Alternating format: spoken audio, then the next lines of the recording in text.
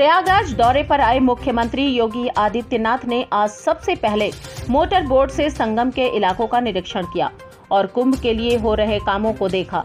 उसके बाद सीएम ने सभी तेरह अखाड़ों के पदाधिकारियों के साथ बैठक की। एक घंटा चली अखाड़ों की इस बैठक में साधु संतों ने शाही स्नान और पेशवाई का नाम बदलने की मांग की, जिस पर मुख्यमंत्री ने अखाड़ा के पदाधिकारियों से कहा कि आप सभी साधु संत एक बार फिर से बैठक करके आपस में राय बना लीजिए। उसके बाद, जैसा अखाड़ा के लोग चाहेंगे, शाही स्नान और पेशवाई का नाम बदल दिया जाएगा। बैठक में साधु संतों ने कुंभ में सुरक्षा देने व बिना आधार के कुंभ में किसी का भी प्रवेश प्रतिबंधित करने का अनुरोध भी किया, जिस पर सीएम ने संतों को भरोसा दिलाया कि आपकी सुरक्षा की ज़िम्मेदारी सरकार की है। इसलिए सुरक्षा के सभी ज़रूरी कदम उठाए जा रहे हैं। इसके अलावा सीएम ने साधुओं से भी कहा कि आपके शिविर की सुरक्षा आपको ही करनी होगी, क्योंकि आपके शिविर में कौन आ रहा है, कौन जा रहा है, इस पर आपको सचेत रहना होगा। हमारा जो प्रस्ताव था, सुरक्षा के लेकर था। सुरक्षा का चिंतन था, कोई व्यक्ति मेरा परिषद में आवे तो उसका आधार कार्ड को उसके बैंक से, उसके और किसी चीज़ से मिलाया जा कि व्यक्ति यही के नागरिक है कि मेरे बीच में कोई दो लाख रुपया दे दे, चार लाख रुपया दे दे। हमने अपना नाम लिया था कि हरिगिर का कोई मांस लगा के चले आवे या हरिगिर कोई चीज़ बम फिट कर दे। कहा? मेरे झोली में। और मेरे पगड़ी में। बोले, बोल जो मैं बोलूँगा। इसलिए जब भी मैं आऊँ तो मेरी जाँच बैठक में अखाड़ा के पदाधिकारियों ने सभी अखाड़ों के फंड को दो गुना करने की मांग की, जिस पर सीएम ने सहमति जताते हुए जल्द निर्णय लेने को कहा। सीएम की बैठक में शामिल साधु संत मुख्यमंत्री के आश्वासन से संतुष्ट रहे। उनका कहना है कि मुख्यमंत्री ने संदेश दिया है कि कुंभ को लेकर कोई भी नकारात्मक चीज़ों को प्रचारित न किया जाए। प्रस्ताव आया था। उन्होंने कहा, देखिए, हम आपके साथ खड़े हैं। पहले एक बार फिर आप अखाड़े मंथन कर लीजिए।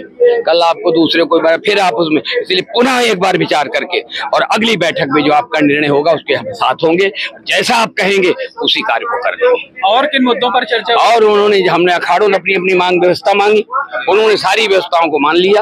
जो व्यवस्थाएँ पहले होती थी दो हज़ार उन्नीस को उससे दो गुनी डेढ़ गुनी और व्यवस्था हम आप लोगों को देंगे जिससे कोई साधु संत उनकी छावनी में उनके अखाड़ों में उनके सारी जगह हम पूरी व्यवस्था देंगे। सुरक्षा को लेकर क्या उन्होंने कहा जो भी है हम तो सुरक्षा कर ही रहे, लेकिन आप लोगों का भी दायित्व तो बहुत बड़ा, आपके पंडाल में कोई आता है तो उनकी भी, आपको भी उनका वो जानकारी होनी चाहिए, उनकी आईडी होनी चाहिए तो आपका जितना जवाबदारी है, उससे हमसे ज़्यादा आपकी है। साधु संतों की बैठक के बाद सीएम ने कुंभ से जुड़े अफसरों के साथ बैठक की और अब तक कामों की समीक्षा की। बैठक में कार्य पिछड़ने पर सीएम ने नाराज़गी भी जताई और जनवरी से पहले सभी काम को खत्म करने का निर्देश दिया। बैठक के बाद सीएम योगी ने कुंभ के लोगों का किया। इस मौके पर प्रेस कॉन्फ्रेंस करके मुख्यमंत्री ने अब तक हुए कार्यों की जानकारी दी और कहा कि इस बार का कुंभ और भी भव्य रहेगा। बेहतरीन तैयारियाँ की जा रही हैं। आर्टिफिशियल इंटेलिजेंस के टूल्स का भी इस्तेमाल किया जा रहा है। और कहीं भी किसी भी प्रकार की कोई असुविधा नहीं होगी। ज़ीरो प्लास्टिक के लक्ष्य को लेकर के प्रयागराज कुंभ को हम लेकर के चले हैं। ज़ीरो लिक्विड डिस्चार्ज किसी भी प्रकार का सॉलिड या लिक्विड डिस्चार्ज माँ गंगा और यमुना में उस दौरान न हो, इसकी तैयारी। और जितने भी ड्रेनेज सेवर हैं, ये सब तक तब तक टेप हो चुके होंगे या एस में। इन्हें डाइवर्ट करके या बायो बायोरेमेडिशन की पद्धति के माध्यम से हम उसे शुद्धिकरण के दौर कर, शुद्धिकरण से ही उससे डिस्चार्ज करेंगे।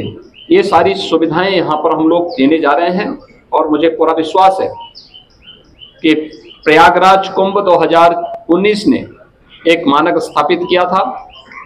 उससे भी बड़े स्तर पर एक भव्य और दिव्य कुंभ को स्वच्छ, सुरक्षित और सुव्यवस्थित कुंभ के रूप में हमें स्थापित करने में सफलता प्राप्त होगी। इस संबंध में मैं आप सबका भी आह्वान करूँगा 2019 के कुंभ के, प्रयागराज कुंभ के लिए, की सफलता में आपकी भी बड़ी भूमिका थी। इस बार फिर से अपनी सकारात्मक भूमिका के साथ प्रयागराज को और भारत के सनातन धर्म के इस भव्य आयोजन को वैश्विक मंच तक पहुँचाने में आप सबका सकारात्मक योगदान होगा। आप सबको मैं एक बार फिर से धन्यवाद देता हूँ, आपका अभिनंदन करता हूँ। बहुत बहुत धन्यवाद। जी लोगों के लोगो लोगो आपने किया। आज यहाँ पे लोगो भी प्रयागराज महाकुंभ का लोगो जारी हुआ है।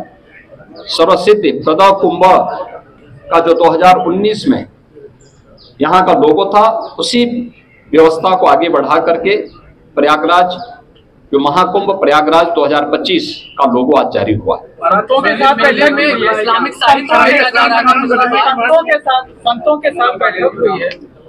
संतों के साथ बातचीत हुई है, बैठक हुई है और सभी लोग बहुत सकारात्मक भाव के साथ, कुंभ के साथ जुड़ेंगे। देखिए, प्रशासन और शासन की व्यवस्था एक नैतिक व्यवस्था के साथ जुड़ी है। कुंभ का आयोजन या इस प्रकार के आध्यात्मिक और सांस्कृतिक आयोजन वास्तव में सनातन धर्म के पार्ट हैं और इसका मुख्य आयोजक और इसका जो होस्ट होता है, वह संत ही होते हैं और संत ही इस व्यवस्था के साथ जोड़ करके इसके भव्य और दिव्य बनाएँगे। और प्रयागराज को एक बार फिर से हम वैश्विक स्तर पर पहुँचाने का कार्य करेंगे। धन्यवाद।